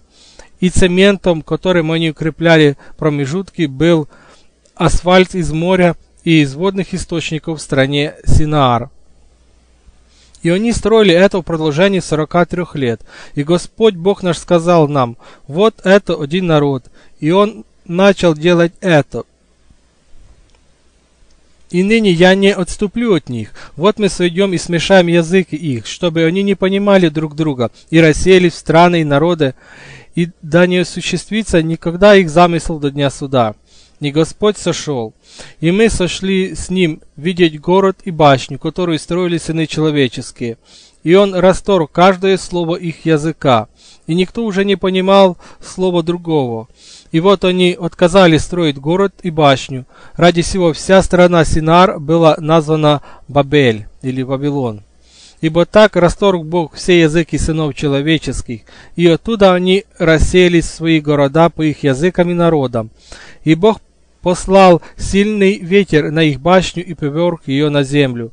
И вот она стояла между страной Ассур и Вавилоном в земле Синар, и нарекли ей имя развалины. В первый год четвертой седмины 35-го юбилея они рассеялись в стране Синар. И Хам своими сыновьями ушел в страну, которая стала его собственностью и которая досталась ему при разделе в страну юга. А Ханан увидел страну Либаноса, до ручья египетского, что она очень хороша, и пошел не в страну своего наследия, на запад от моря, но жил в стране Либанос, на востоке и на западе от сынов народа Либаноса и вдоль моря. И отец его Хам, и Куш, и Мицраим, его братья, сказали ему, «Ты поселился в стране, которая не принадлежит тебе, и которая по жребию не досталась нам. Ты не должен так делать, ибо если ты сделаешь так, то погибнешь. Так же, как и твои сыновья в стране, как подвергшийся проклятию силой оружия, ибо вы силой оружия поселились, и силой оружия падут твои сыновья, и ты будешь истреблен вовек. Не живи в земле обитания Сима, ибо оно досталось по жребию Симу и его детям. Проклят ты, и проклят будешь пред всеми сыновьями Ноя проклятием, которым мы обязались в клятве пред святым судьею и пред нашим отцом Ноем. Но он не послушал их и жил в стране Либанос, от Гамафа до начала Египта, он и его сыновья до нынешнего дня. И посему та страна была названа Ханаан, но Иофет и его сыновья пошли на запад и жили в стране своего наследия. И Медай увидел страну моря, и она понравилась ему. И он выпросил ее себе у Элама и Асура и Арфаксада, брата его жены, и жил в стране Медакин, медийской стране, вблизи брата своей жены до сего дня. И он назвал свое место обитания и место обитания своих детей Медекин по имени их отца Мадая. Глава 11. И в 35-й юбилей, в третью седмину, в первый год ее Рагев взял жену по имени Ара, дочь сына Кеседа, и она родила ему сына, и он нарек ему имя Серук в седьмой год этой седмины и этого юбилея. И сыны Ноя начали вести борьбу друг с другом. Они стали друг друга брать и убивать, проливать кровь человеческую на земле и есть кровь, и строить укрепленные города, и стены, и башни, и помимо того возноситься над народом и повсюду основать царство и вести войну. Один народ против другого, и народы против народов, и город против города, и подвергать все прочее, и делать э, себе оружие, и учить своих детей войне. И они начали покорять города и продавать невольников и невольниц. И Ур, сын Кеседа, построил город Ару Халдейскую и назвал его по имени себя и по имени отца своего. И он делал им звезды и поклонялся каждому идолу, которого он лил себе. И они начали делать изваяния и статуи, и нечистое, и духи нечистые помогали в этом, и обольщали их совершать грех и нечистоту. И князь Мастема прилагал свою власть, чтобы делали это, и побуждал через духов, которые были отданы в его руки, совершать различного рода злодеяния и грехи и всякое развращение, чтобы развращать и губить и проливать на земле кровь. Посему ему было наречено имя Серух, ибо он удалился, чтобы свободнее совершать грех и злодеяния. И он сделался великим, и жил в Уре Халдейском, вблизи родителей своей матери, и поклонялся идолам, и он взял себе жену в 36-й юбилей в пятую седьмину в первый год по имени Мелка, дочь Гебера, дочь сестры его отца. И она родила ему Наггора, первый год этой седмины. И он возрос и жил в Уре, в Уре Халдейском. И его отец, мудрец халдейский, научил его предсказанию и гаданию по знамениям неба. И в 37-й юбилей, в шестую седмину, в первый год взял он себе жену по имени Иосака, дочь Нестега халдейского, и она родила ему сына Фарага седьмой год этой седьмины. И князь Мастема послал воронов и птиц, чтобы они пожирали семя, посеянное на земле, чтобы произвести порчу на земле, чтобы они расхищали у сынов человеческих их произведения. Ибо прежде чем они запахивали семя, вороны подбирали его с поверхности земли, посему он нарек ему имя Фарак, так как вороны и птицы обкрадывали их и пожирали у них семя их. И годы стали делаться неурожайными птиц, и все древесные плоды они пожирали с деревьев. Только с великим трудом можно было в их дни спасти кое-что от всех плодов земли. И в 39-й юбилей, во вторую седьмину, в первый год, взял себе Фарак жену по имени Эдна, дочь Арема, сестрину дочь его отца, себе в жены, и в седьмой год этой седьмины она родила сына, и он нарек ему имя Авраам, по имени отца его матери, ибо он умер прежде, чем приобретен был ее и его сыном. И дитя начало замечать греховность земли, как она была соблазнена к греху через изваяние и нечистоту. И его отец научил его писать, и когда он был двух седьмин, то отдалился от своего отца, чтобы не поклоняться вместе с ним идолам. И он начал молиться Творцу всех вещей, чтобы он спас его от обольщения сынов человеческих, и чтобы его наследие, после того, как он стал праведным, не впало в греховность и нечестие. И пришло время посева для тех, кто засевает землю, и они вышли все вместе, чтобы стеречь свои семена от воронов. И Авраам вышел с другими, будучи дитёю 14 лет. И налетело облако, стая воронов, чтобы пожирать семена. Но Авраам побежал к ним, прежде чем они сели на землю, и закричал на них, прежде нежели они сели на землю, чтобы пожирать семена, и сказал, «Не смейте спускаться, воротитесь в то место, откуда прилетели». И они воротились. И они сделали так тот день семью стаями воронов. И из всех воронов ни один не сел где-либо на пашню, где был сын Авраам, даже ни один. И все бывшие около него на той пашне видели, как он закричал и сказал, «Воротитесь, вороны!» Его имя сделалось великим по всей стране халдейской. К нему приходили в этот год все, которые сеяли, и он ходил с ними, пока не прошло время сеяния. И они засели свою землю и собрали в том году хлеб, так что ели и были сыты.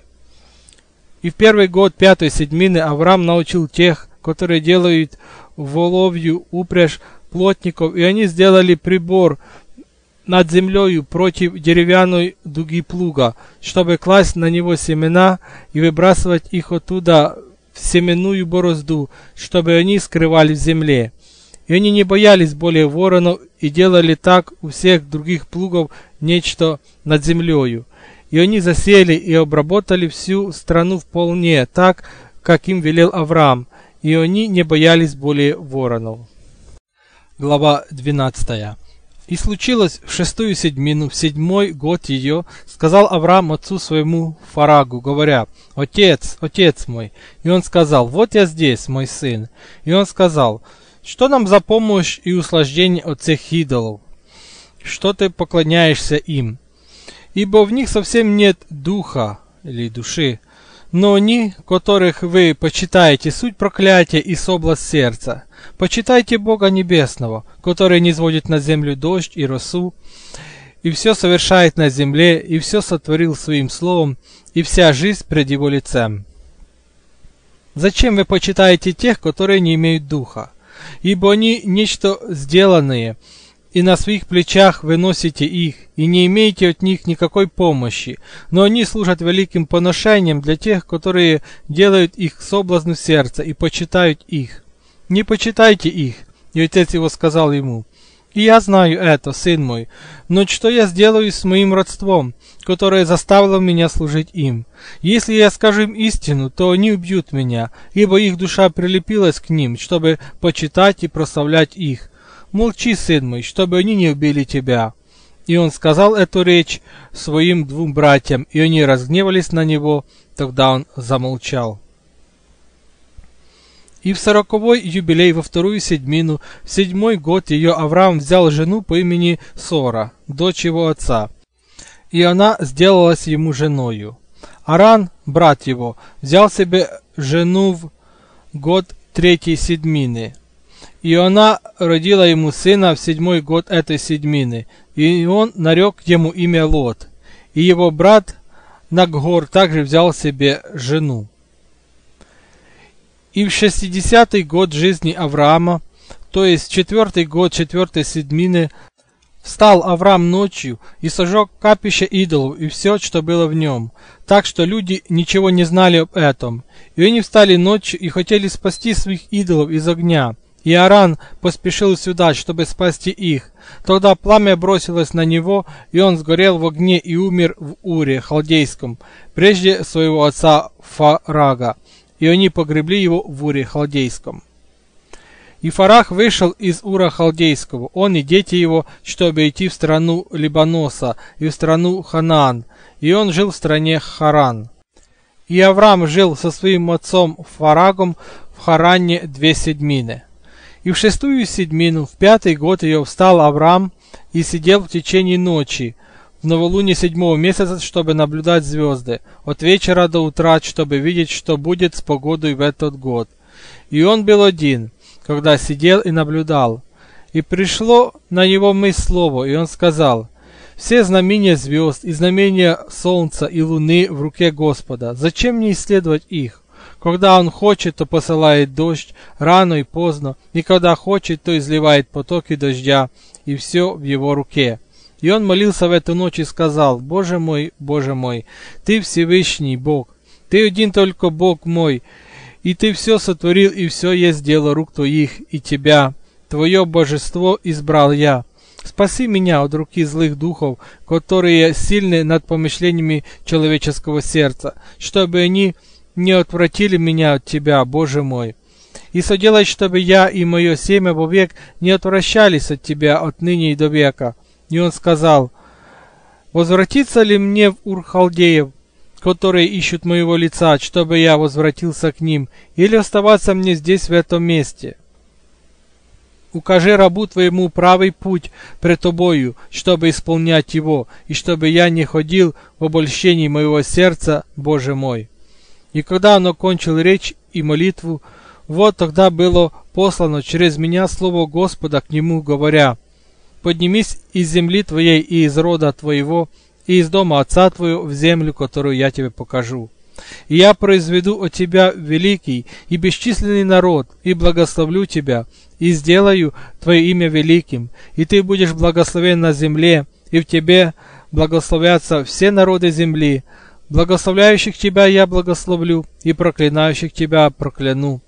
И я буду Богом тебе и твоим сыновьям, и сыновьям сыном твоих, и всему твоему семени, и буду за тобою, и я Бог твой, не бойся, отныне до всех родов земли я Бог твой.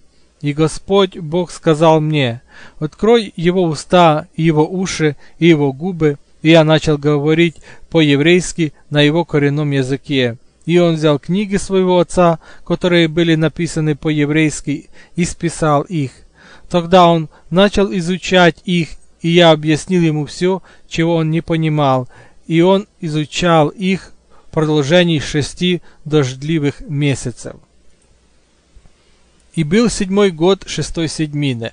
Тогда говорил он со своим отцом и возвестил ему, что он выйдет из Харана, чтобы идти в землю Ханаан, что он осмотрит ее и возвратится к нему. И отец Фарах сказал ему, иди в мире, Бог мира да соделает путь твой правый, и да будет Господь с тобою и хранить тебя от всех зол, и да даст тебе милость и благоволение и милосердие пред теми, которые увидят тебя, чтобы никакой человек не возымел силы над тобою, чтобы предпринять что-либо против тебя. Иди в мире, и если ты найдешь страну угодную чам твоим, чтобы жить там, то возьми и меня с собою, и возьми с собою Лота, сына Арана, брата твоего, как своего сына, и Господь да будет с тобою. Глава 13 И Авраам вышел из Харана и взял с собой жену свою Сору и Лота, сына брата своего Харана, в страну Ханаан, и он пошел. И прошел до Сикимона, близ высокого дуба, и Господь сказал ему, «Тебе и твоему семени я дам эту страну». И он устроил там жертвенник и принес на нем Господу, который явился ему всесожжение. И оттуда он поднялся к горному хребту Бетель, Вифиль, который был от него на запад, и Ай, или Гай на восток, и разбил там шатер свой. И он увидел, что земля была очень обширна и хороша, и что в ней росло все – виноградные лозы, смоквы, гранаты, дубы и твердые деревья, и теревинфы, и масличные деревья, и кедры, и кипарисы, и ливанские деревья, и все деревья полевые, и что она имела воду на горах. И он благословил Господа, который привел его из Ура Халдейского на эту гору. И случилось в первый год, седьмую седмину, в новолуние первого месяца, он устроил на этой горе жертвенник и призвал имя Господа. «Ты, Боже мой, вечный Бог, и он принес на жертвеннике Божьем всесожжение, чтобы он был с ним и не оставлял его в течение его жизни. И он поднялся оттуда и пошел на юг, и достиг Хеврона. И Херон был тогда построен, и он оставался там два года. Тогда пошел Авраам в Египет в третий год седьмины и жил в Египте пять лет, прежде чем у него была похищена жена. Санай же был тогда построен в Египте через семь лет после Хеврона. И случилось, когда фараон похитил Сору, жену Авраама, Господь поразил фараона и весь дом его тяжким бедствиями за Сору, жену Авраама. И Авраам был очень обогащен овцами и рогатым скотом, и ослами, и конями, и верблюдами, и рабами, и служанками, и серебром, и золотом вполне. И Лот, сын его брата, также был обогащен. И тогда фараон возвратил Сору его жену, он переселился из земли египетской и пришел в одно место на восток от Вифиля. И прославил Господа Бога своего, который вывел его обратно с миром. И случилось, в сорок первый юбилей, в третий год первой седьмины, он возвратился в это место и принес там все сожжения, и призвал имя Господне, и сказал, ты, Господь, Бог Всевышний, Бог мой вовек. И четвертый год седьмины Лот отделился от него. И Лот жил в Содоме, но жители Содомские были очень злы. И он, Авраам, опечалился в сердце своем, что его племянник отделился от него, ибо он не имел детей. В тот год этой седьмины, когда Лот был пленен, Господь говорил Аврааму после того, как Лот отделился от него и сказал ему, Возведи очи твои от места, где ты живешь, к северу и к югу, и к утру, ибо всю страну, которую ты видишь, я дам тебе, и дам семени твоему вовек. И я сделаю твое семя, как песок при море, и как человек не может сочетать песок при море. Так нельзя исчислить и твоего семени. Встань и пройди ее по длине и широте, и посмотри все, ибо я дам ее твоему семени. И Авраам пошел в Хеврон и жил там. И в этот год пришли Коло Догомир, царь Эламский, и Амалфал, царь Синаарский, и Ариох, царь Селасарский, и Тергал, языческий царь. И они поразили царя Гоморы, и царь Содома бежал. И многие, обратившиеся в Сидин, солончатую страну, в Содом, Адом и Севоим пали. И они взяли в плен Лота, племянника Авраама, со всем его имуществом и отвели в Дан. И пришел один, который спасся бегством, и рассказал Аврааму, что племянник его взят в плен. И его раб принес в умилостивление за Авраама и его семя десятину начатков Господу. И Господь сделал Отсюда постановление навсегда, чтобы давать ее, то есть десятину священникам, которые служат пред его лицом, дабы они пользовались ей вовек. И это установление не на день, но он утвердил его на вечные роды, чтобы давать Господу десятину от семян и вина и масла и рогатого скота и овец. И он дал ее своим священникам, чтобы они ели от нее с радостью и пели пред ним. И вышел к нему царь Содомский и пал пред ним ниц и сказал, «Господин мой, Авраам, отдай мне людей, которых ты освободил, добыча же пусть будет твоя». И Авраам сказал ему, «Я воздвигаю руки мои к Всевышнему Богу, ни нитки, ни башмачного ремня я не возьму из всего, что принадлежит тебе, дабы ты не сказал, я сделал Авраама богатым, кроме того, что съели отроки, и мужи, ходившие со мною, Аунан и Эскол и Мамре должны взять свою долю. Глава 14. И после всего события, в четвертый год этой седьмины, в новолуние третьего месяца, было слово Господне к Аврааму в сновидении, говорящее, «Не бойся, Авраам, я твоя защита, и награда твоя будет чрезмерна». И он сказал, «Господи, Господи, что ты дашь мне? Вот я иду туда без детей, и сын Месек, мой раб, под Дамаск, Елеезер, будет наследником мне». А мне ты не дал семени. И он сказал ему, он не наследит тебе, но происшедший от плоти твоей будет тебе наследником. И он вывел его и сказал ему, взгляни на небо и сосчитай звезды небесные. Можешь ли ты сосчитать их? И он взглянул на небо и увидел звезды, и он сказал ему, так будет твое семя. И он поверил Господу, и это было вменено ему в праведность. И он сказал, «Я Господь Бог твой, выведший тебя из Ура Халдейского, чтобы дать тебе вечное владение землю ханаанитов, и чтобы я был твоим Богом и Богом твоего семени». И он сказал, «Господи, Господи!» И он сказал, «Господи, почему я узнаю, что наследую ее?» И он сказал ему, «Принеси мне трехлетнюю телицу, и трехлетнюю козу, и трехлетнюю овцу, и трехлетнюю горлицу и голубя. И он взял все это в середине месяца. И он жил при дубе Мамре, который близ Хеврона. Там устроил он жертвенник и заколол все, возил кровь их на жертвенник и разделил их пополам, и положил их друг против друга. Но птиц он не касался, и птицы спустились на куски, но Авраам отгонял их, и не давал птицам прикасаться к ним. И было, когда солнце зашло, бессилие напало на Авраама, и вот сильный страх мрака напал на него. И было сказано, Авраам, знай, что твое семя будет странником в чужой земле, и его будут порабощать и угнетать в продолжении четырехсот лет. Но я произведу суд над народом, которому они будут служить, После того они выйдут оттуда с большим имуществом. И ты в мире отойдешь к своим отцам, и будешь погребен в доброй старости, и в четвертом роде оно, то есть твое семя, возвратится сюда, ибо грех Амореев доселе еще не наполнился. И он пробудился от своего сна и встал, и солнце было зашедшим. Тогда появилось пламя, и вот Печь дымилась, и огненное пламя прошло между кусками. И в ту ночь Бог заключил завет с Авраамом, сказал, «Твоему семени я отдам эту реку, от реки Египетской до великой реки, реки Ефрат, Кенеев, Кенезеев, Ферезеев, Рафейн, Евеев, Амареев, Кананеев, Гергесеев». И он отошел.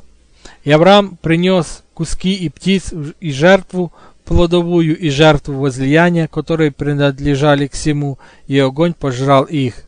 И в эту ночь он заключил завет с Авраамом, согласно завету, который мы заключили в этом месяце с Ноем. И Авраам возобновил это в праздник и в постановление для себя до века. И Авраам возрадовался и рассказал все это происшедшее своей жене Соре. И он поверил, что у него будет семя, но она не рожала. Тогда Сора посоветовала своему мужу Аврааму и сказала ему, «Войди к моей служанке Агаре, египтянке, быть может, я произведу тебе от нее семя». И Авраам послушался голоса жены своей Соры и сказал ей, «Сделай это». Тогда Сора взяла египтянку, служанку Агарь и дала ее своему мужу Аврааму, чтобы она была его женою. И он вошел к ней, и она сделалась беременной и родила сына и он нарек ему имя Измаил в пятый год этой седьмины. В том году был 86 год жизни Авраама. Глава 15. И в пятый год четвертой седьмины этого юбилея, третий месяц, в середине месяца Авраам праздновал праздник начатков жатвы хлеба и принес свежую хлебную жертву, к жертвам начатков хлеба для Господа. Он присоединил тельца и овна, и овцу на жертвенник вместе с благовонным курением. И Господь явился ему и сказал ему, «Я, Бог Владыка, благоугождай предо мною и будь благочестив, и я заключу завет между мною и тобою и сделаю тебя весьма великим». И Авраам пал на свое лице. И Господь говорил с ним и сказал, «Вот завет мой с тобою. Я сделаю тебя отцом многих народов, и ты не будешь более называться Авраам отныне до века, но Авраам будет тебе имя, ибо я сделал тебя отцом многих народов, и сделаю тебя весьма великим, и произведу тебя народов и царей, и я поставлю завет между тобою и мною, и между твоим семенем после тебя в их родах, вечное установление, чтобы я был твоим Богом и Богом твоего семени после тебя во всех родах. И я дам тебе и семени твоему после тебя землю, ибо ты пришлец в ней, землю хананскую, чтобы ты был господином над нею навсегда. И я буду им Богом. И Господь сказал Аврааму, «И храни мой завет, ты и твое семя после тебя, и обрезывайте все ваши крайние плоти, и это будет знамением моего вечного установления между мною и тобою, и для родов потомков. В восьмой день вы должны обрезывать все мужеское в ваших родах рожденного дома и купленного вами за золото у всех сыновей чужеземцев, что приобрели вы. Кто от твоего семени, тот да будет обрезан. Рожденный дома и купленный за золото да будет обрезан. И мой завет на теле вашем пусть будет вечное установление. И кто не обрезан, всякий мужеского пола между вами, крайняя плоть которого не обрезана в восьмой день, душа та, да истребится из рода вашего, ибо она нарушила завет мой. И Господь сказал Аврааму, Сора, жена твоя, не будет более называться Сорою, но Сара имя ее. И я благословлю ее, и дам тебе от нее сына. И я благословлю его, и произведу от него народ, и цари над народами произойдут от него. И Авраам пал на лице свое и возрадовался, и сказал в сердце своем, «У меня ли, имеющего сто лет, родится сын? И Сара девяносто лет, родит ли сына?» И Авраам сказал Господу, «Хотя бы Измаил остался жив пред тобою». И Господь сказал, «Да, но и Сара родит тебе сына, и ты наречешь ему имя Исаак. И я восстановлю завет мой с ними, завет мой вечный, и с его семени после него, и о Измаиле я услышал тебя. И вот я благословлю и умножу его, и сделаю его весьма многочисленным, и двенадцать царей произведет он, и я произведу от него великий народ, но завет мой я поставлю с Исааком, которого родит тебе Сара, около сего времени на другой год. И после того, как он кончил говорить с ним, Господь вошел. И он, Авраам, взял своего сына Измаила и всех своих рожденных дома рабов и купленных за золото, весь мужеский пол, который был в его доме, и обрезал плоть их члена. И в этот день был обрезан Авраам, и люди его дома были обрезаны, и также все, которых он купил за золото у сынов иноплеменников, были обрезаны вместе с ним. И этот закон для всех родов век, и нельзя изменять дней, не пропускать одного из восьми дней, ибо это вечное благословение, утвержденное и записанное на небесных скрижалях. И каждый рожденный, крайняя плоть которого не обрезана до восьмого дня, не принадлежит к сынам завета, который Господь заключил с Авраамом, но к сынам погибели, и вот он не имеет знака на себе что Он Господен. Он предназначен к погибели и уничтожению и истреблению от земли, ибо Он нарушил завет Господа нашего Бога, ибо Он осветил Израиля, чтобы Он был со всеми его ангелами лица и со всеми ангелами прославления и со святыми его ангелами, и ты повели также сынам Израиля, чтобы они хранили знак сего завета в своих родах, как вечное установление, чтобы не быть им истребленными от земли, ибо постановление сие утверждено для завета, чтобы оно соблюдалось навсегда между всеми сынами Израиля. Ибо Измаила и сыновей его и братьев, и Исава не приблизил Господь и не избрал их, но сынов Авраама познал он и избрал Израиля, чтобы они были его народом, и осветил его, и собрал его из всех сынов человеческих, Ибо много народов и бесчисленные люди, и все принадлежат Ему, и над всеми Он поставил духов место Господа, чтобы они отвращали их от Него. Над Израилем же Он никого не поставил Господом, ни ангела, ни духа, но Он единый их владыка. Он охраняет их и ведет тяжбы их против своих ангелов и своих духов и против всего. если они будут хранить все его повеления, то он благословит их, и они будут его сынами, и он будет их отцом отныне до века.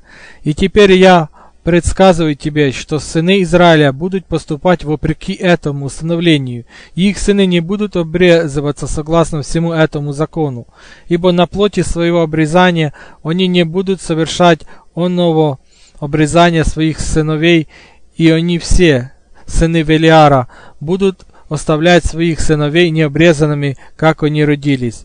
И гнев Господа на детей Израиля будет велик, ибо они оставили завет его и уклонились от его слова, и возбудили его на гнев, и восхулили его, и не сделали сего знака по их закону, но оставили свою плоть необрезанную, подобно язычникам, чтобы быть уничтоженными и истребленными с земли.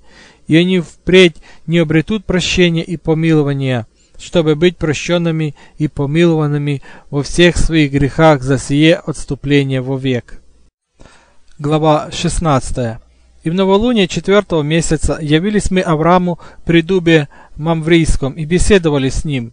И мы также возвестили ему, что у него родится сын от жены его Сары. Тогда Сара рассмеялась, ибо она слышала, что мы говорили эту речь Аврааму. И мы заметили ей, но она испугалась и стала отрицать, что она смеялась над нашими словами. И мы сказали ей имя его сына, как определено и написано было на небесных скрижалях, именно Исаак. И когда мы возвратимся к ней в определенное время, тогда она будет беременной сыном.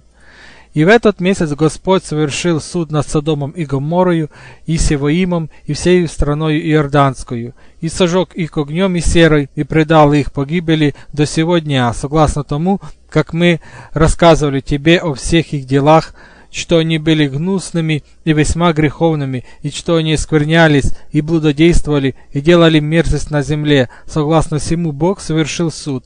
В гневе и ярости за нечистоту Содома совершил он суд над Содомом. И мы спасли Лота, ибо Господь вспомнил об Аврааме и вывел его то есть Лота, из разрушения. Но и он, и дочери его совершили на земле грех, какого не было на земле от Адама до того времени, ибо муж переспал своей дочерью.